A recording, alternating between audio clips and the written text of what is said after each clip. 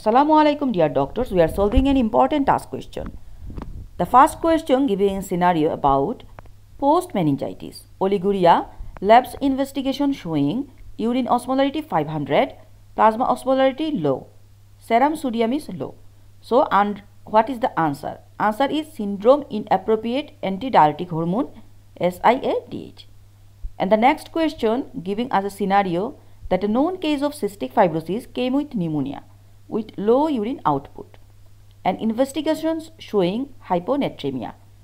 Answer is SIADH. Now I am explaining the answers. We know that SIADH is seen in a number of illnesses including meningitis, cranial abscess, trauma, hypoxic ischemic and encephalopathy, pneumonia, cavitating lung lesions and lymphoma.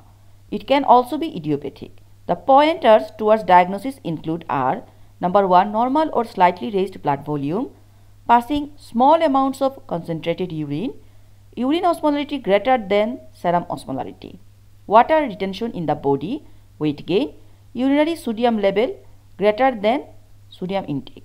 So, the both question answer is SIADH syndrome inappropriate antidiuretic hormone. Please do subscribe and share my channel everyone.